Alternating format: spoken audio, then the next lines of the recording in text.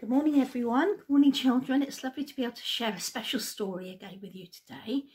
And I think you're going to be able to guess straight away which story it is because I've got a little friend to help us with our story today.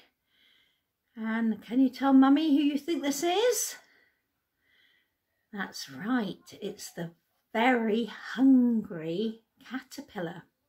So that's going to be our story and I, he can help us. Can't he tell us the story about the very hungry caterpillar?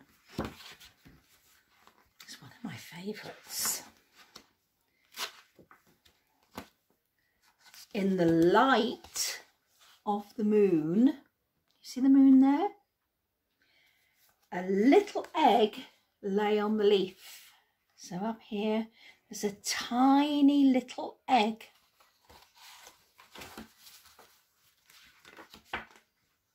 one Sunday morning, the warm sun came up and pop, out of the egg came a tiny and very, can you see him here, hungry caterpillar.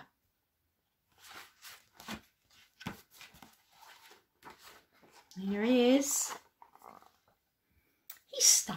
to look for some food. He was hungry. On Monday, he ate through one apple. I'm going to try and show you the picture just of the one apple. But, can you say it with me? He was still hungry. So on Tuesday, he ate through one, two, pears, but he was still hungry. On Wednesday, let's count them. One, two, three. He ate through three plums, but he was still hungry. On Thursday, let's see if we can count the strawberries together. One, two, three, four strawberries. But he was still hungry. On Friday, he ate through, let's count the oranges, one, two, three, four, five oranges, but he was still hungry. And on Saturday, oh my goodness me, he ate through one piece of chocolate cake, one ice cream cone, one pickle, one slice of Swiss cheese, one slice of salami, one lollipop, one piece of cherry pie, one sausage, one cupcake, and one slice of watermelon. And that night he had a tummy ache. I'm not surprised. The next day was Saturday again and he ate through one nice green leaf. And that made him feel so much better. Now he wasn't hungry anymore. And he wasn't a tiny little caterpillar anymore. Can you see? He is very big. Let me open him up like that. Yes, there he is.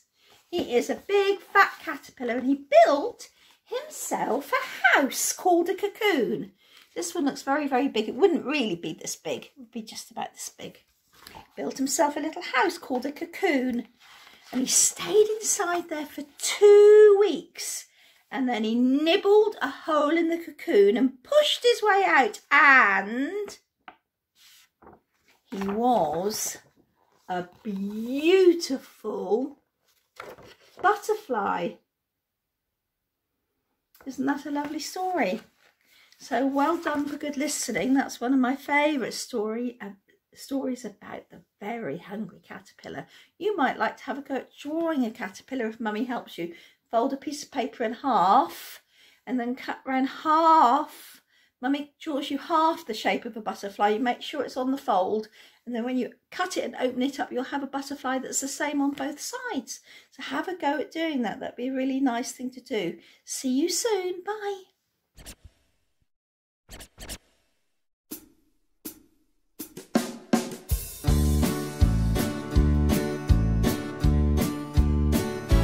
There's a tiny caterpillar on a leaf.